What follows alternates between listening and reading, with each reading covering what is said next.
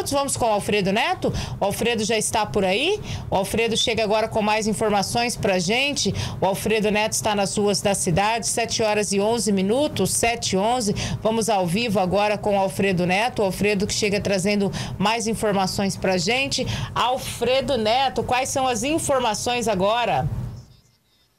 Olá, Ana. Vamos falar de uma prisão de um homem de 27 anos que, após colidir na traseira de um carro na Avenida Clodoaldo Garcia, tentou fugir da situação de colisão e foi preso após bater com a picape contra um poste de energia na Avenida Rafael Diaro, no bairro Vila Aro, zona sul de Três Lagoas.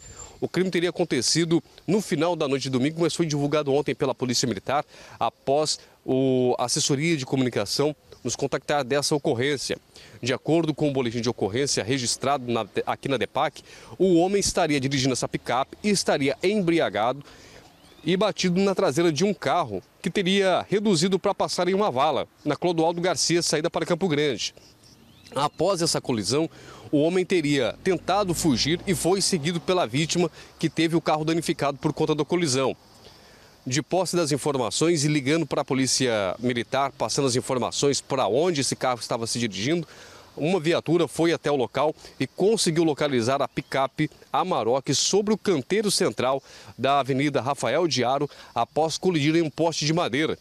Por sorte, o poste não caiu sobre o veículo, sobre nenhuma residência e nem na via, ficou dependurado pelos fios de energia. O homem que estava em visível estado de embriaguez se foi submetido ao teste do, do bafômetro, aonde foi acusado 0,99% ali de miligramas de álcool por litro de ar expelido pelos pulmões.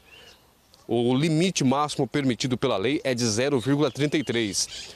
Considerando ali o caso como embriaguez ao volante e também evasão de sinistro de trânsito, o homem acabou sendo autuado em flagrante por embriaguez ao volante e foi trazido aqui para a DEPAC, Delegacia de Pronto Atendimento, onde foi autuado e preso.